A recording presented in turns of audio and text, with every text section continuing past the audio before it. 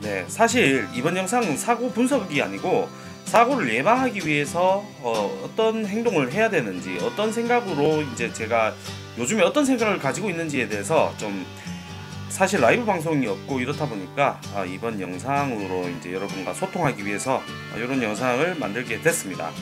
어, 최근 들어가지고 제가 어, 제 주변에 가까운 구독자분들 실제로 저를 찾아오시고 그리고 저랑 이제 어느 정도 교류가 있으신 가까운 구독자분들 구독자를 층을 나누기는 그렇지만 어, 자주 보실 수 있는 분들에 한해서 안전교육을 진행하고 있습니다.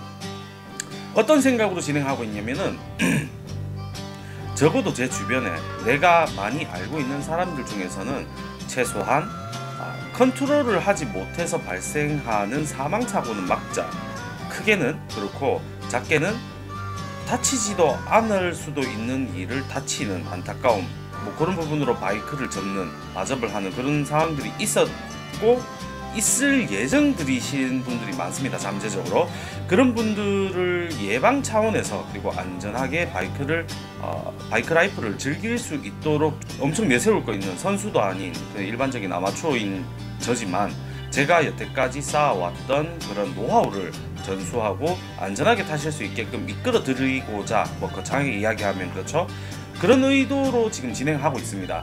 처음에 영상에 시작했을 때 보면 사실 그렇게 과속은 아니에요. 125cc 가지고 과속은 아닙니다. 보면은 라인이 터지죠. 대부분 라이더들은 사실 어느 정도 라이딩 1, 2년 차 되시는 분들도 요거 잘 안 되는 분들 많습니다. 시내 주행에서 특히 직진, 코너 캐봤자 좌회전, 우회전, 유턴이 전부인 시내 주행에서 익숙하신 분들이 시외로 어, 투어 라이딩을 나가셨을 경우에 발생되는 많은 유형의 사고 중에 하나입니다. 특히 이런 류들 사고들로 인해서 사망 사고가 많은 편이죠. 재수가 좋으면 와 첫 번째 영상처럼 죽을 뻔했다라고 끝날 수 있고 재수가 없으면 맞은편에 대항차가 왔었다면 은 진짜 사망 사고 또는 아주 크게 다칠 수 있는 그런 사고 중에 하나죠. 그리고 우리가 흔히 볼 수 있는 사고 유형 중에 하나입니다. 할리 동호회 나갔을 때도 대부분 이런 류의 사고로 사망하십니다. 제가 이번에 영상에서 이야기하고자 하는 것은 적어도 내가 실수를 해서 사고가 나지 아니하게끔 그리고 이런 경우 코너가 코너를 돌던 중에 라인이 터진다는 말을 하죠. 중앙선 또는 중앙분리대 중앙선을 넘어서 반대편 차선으로 넘어가거나 가쪽의 중앙분리대 쪽으로 밀려 나가거나 중앙분리대가 없는 경우에 가쪽의 수로 도로가 아닌 논두렁이라든가 이런 부분으로 밀려나서 넘어져서 사고 나는 것들을 어떻게 하면 컨트롤할 수 있을까라는 것을 우리 구독자분들께 알려드리기 위해서 이런 것들을 하고 있었어요. 오토바이를 운행하기 위해서는 자동차와는 거와는 다르게 핸들만 단순히 돌린다고 돌아가는 것이 아닙니다. 나는 이렇게 잘 타왔는데 하시는 분들은 지금 당장 뒤로 가기 눌러주시고요. 제 이야기 들어주실 분들은 지금 계속 시청해 주십시오. 코너를 돌기 위해서는 시선과 뭐 많은 것들이 있습니다. 사실 요 첫 번째 사고건 같은 경우에는 사고라고 하긴 그렇죠. 첫 번째 사례로 봤을 때 코너링이 되지 않아 가지고 뭐 보통은 이제 내가 생각했을 때보다 코너가 깊었던 거죠. 그리고 어, 복합적입니다. 시선이 일단은 코너 끝 지점을 향하지 아니하였고 코너가 터지니까 내가 보고 있는 있는 바로 앞만 보다가 점점 점점 보는 대로 갑니다 오토바이가. 그리고 상체가 많이 빳빳이 서 있었을 거예요. 제가 교육을 할 때 가장 중요한 게 자세 팔에 힘 빼는 것. 니그립을 잡으면서 상체에 적당히 상체를 구부리고 팔을 구부려 가지고 양팔을 구부려서 상체에 힘을 주는 것을 최대한 빼려고 노력을 하고 그걸 가르치는데 많은 시간을 할애를 합니다. 그게 되고 나서야 조금씩 조금씩 시선과 뱅킹 각도를 조금씩 주면서 오토바이 뱅킹 각에 익숙해질 수 있도록 하고 있는데 어, 대부분 대부분 라이더들은 이렇게 생각을 하세요. 나는 코너를 안 타니까 나는 오토바이를 눕혀서 안 타니까 이거를 하지 않아도 된다 하는데 어, 레플리카를 타는 것뿐만 아니라 이 두 발통 달린 오토바이 심지어 자전거조차도 마찬가지로 해당이 됩니다. 안 누우면 코너를 돌아갈 수가 없어요. 눕지 않고 코너를 돌기 위해서는 경운기처럼 내려서 직각으로 돌아야 되는데 직각으로 돌 수가 없습니다. 이 두 발통은 어, 원심력 때문이죠. 그래서 적당히 banking, lean angle을 주면서 상체를 숙이고 무게중심을 낮춰가지고 어, 원심력을 대항할 수 있는 힘을 길러서 코너를 돌아가게 됩니다. 근데 이 과정에서 상체에 힘이 들어가지 아니하는 경우에 힘이 빳빳하게 들어가 있다 보니까 내가 모르게 카운터를 줍니다. 카운터를 주면 무슨 일이 생기느냐? 코너를 돌아가는데 회전 반경이 점점 넓어져요. 팔에 힘이 빠지고 팔을 살짝 구부린 상태에서 상체의 긴장이 풀리는 상태로 돌아가게 되면은 살짝만 핸들에 힘을 주더라도 코너를 돌아갈 수가 있습니다. 근데 이걸 자각하지 못해요. 대부분 이런 경우에는 시선 처리도 문제지만 상체에 힘이 빳빳하게 들어갔고 핸들을 특히 레플리카 타시는 분들 마찬가지입니다. 상체를 꼿꼿이 세운 상태에서 팔을 쭉 뻗습니다. 쭉 뻗어서 상체를 지지를 해요. 앞으로 숙여지는 자세를 그렇게 타시게 되면은 뭐 앞서 보신 영상과 같은 그런 케이스가 됩니다. 속도를 내지 않더라도 코너를 돌아, 제 속도로 돌아가지를 못해요.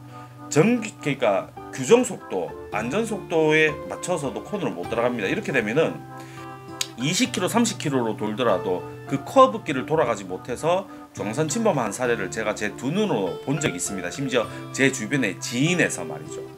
그렇기 때문에 나는 어느 정도 타시는 분들한테도 해당되는 이야기이긴 합니다만은 어 뭐 나는 코너를 안 탈 거야 하시면은 뭐 더 이상 드릴 말씀은 없습니다만 좀 지금 이 상태에서 와 이거 위험해서 못하겠다. 난 좀 개선을 해야겠다.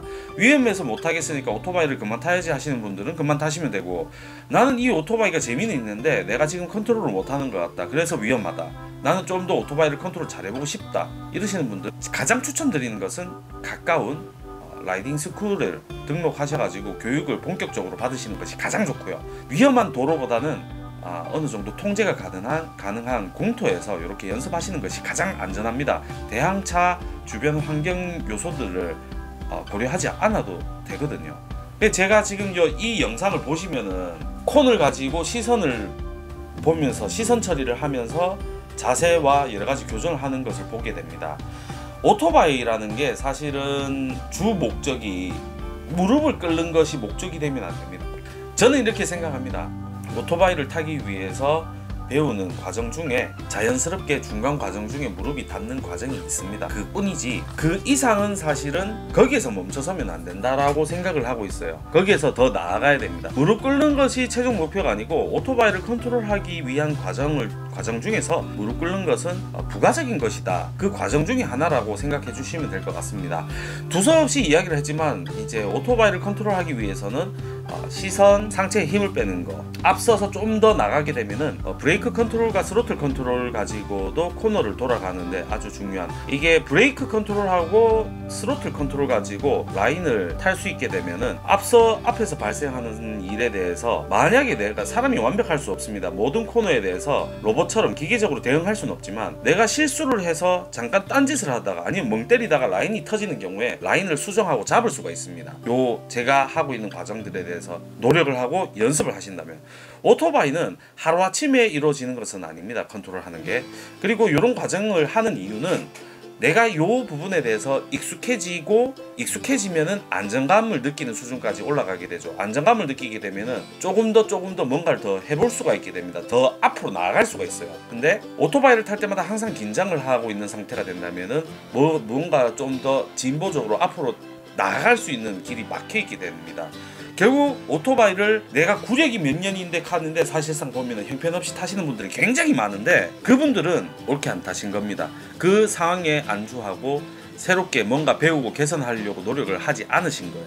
안전하게 타기 위해서는 많은 노력이 필요합니다. 비용과 노력 그게 수반되어야만 안전하게 오토바이를 탈 수 있습니다. 실제로 보면은 시내나 우리 주변에서 보면은 직발이 직발 대상들이 엄청 많습니다. 직진만 어마무시하게 쏘죠. 코너링이 안 돼요 그분들 외곽지대로 나가면은 복합적인 코브, 코너가 있는 데를 돌지를 못해요.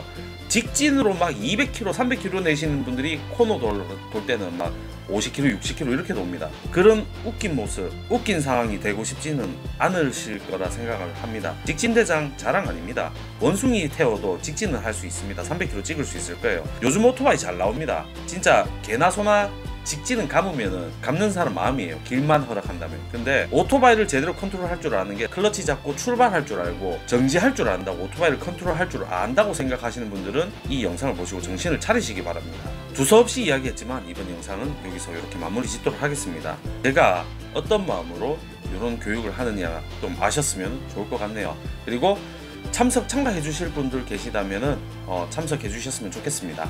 다음 영상에 뵙겠습니다. 빠바.